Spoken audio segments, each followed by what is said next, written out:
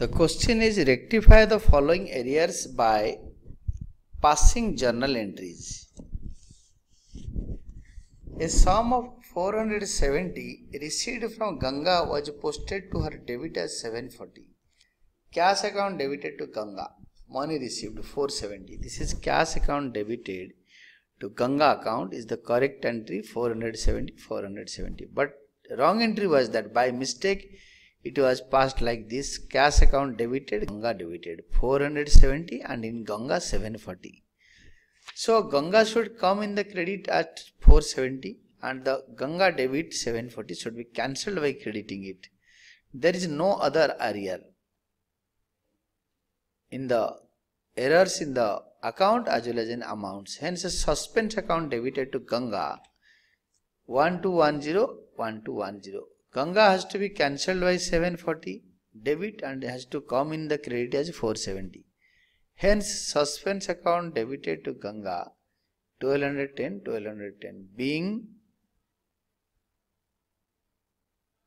rectification entry passed to rectify the mistake as Ganga should be credited 470 but it was she was debited by 740. Next second entry a debit balance of 550 in personal account of Mr. John was undercast. Debit balance undercasting by 550 in Mr. Jones account. Hence, Mr. John debited to whatever more than 550. Take any amount more than 550. Mr. John debited to cash 1550 1550. Whatever the amount may be, it should be more than 550. The undercasting in Jones account was less by 550 Mr. John debited to cash account 1000 and 1550. John debit that means in John account we should write down 550 more.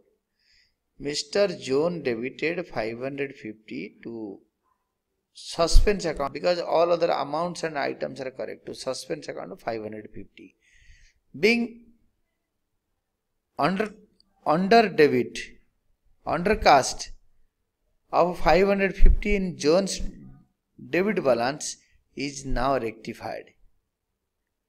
Then third one, bills receivable from, from Brown rupees 3000 posted to the credit of bills payable account.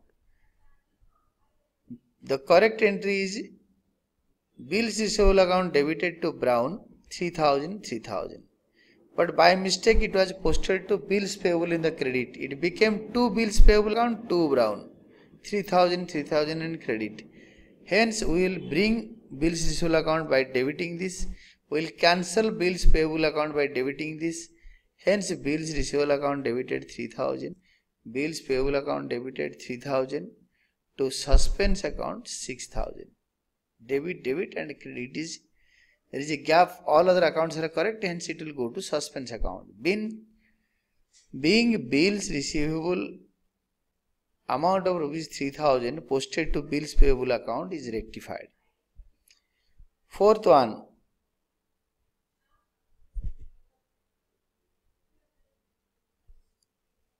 goods returned by Mridul 225 have been entered in the returns outward book. It is sales returns account debited to Mridul 225 225. It was written as Mridul debited to returns outward account 225 225 hence correct entry rectification entry is returns inward account debit 225 and returns inward has to come and return outward in the credit has to go. Hence it is to be debited to cancel this. Returns outward account debited 225 and Mridul has to come at 225 and, and the debit Mridul in the wrong entry should be cancelled by crediting to Mridul 225 hence to Mridul it is 450 double amount.